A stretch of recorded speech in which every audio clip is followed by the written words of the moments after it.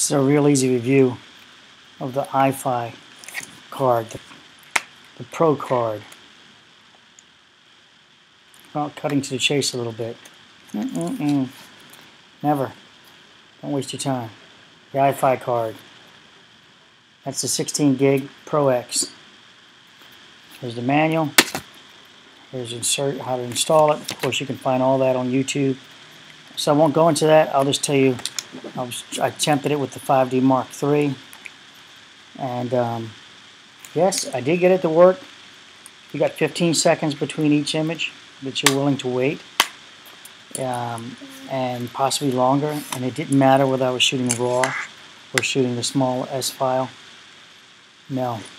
So this gets a big down for me.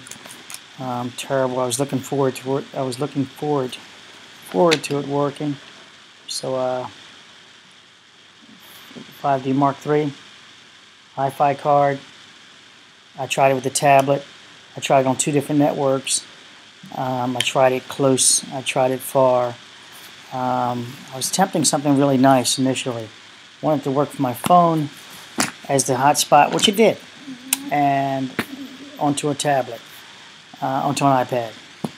It did work. Again, it takes 15 seconds, um, and it's not reliable.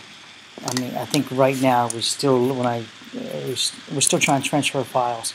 So, um, recommend it? No. Don't waste your money.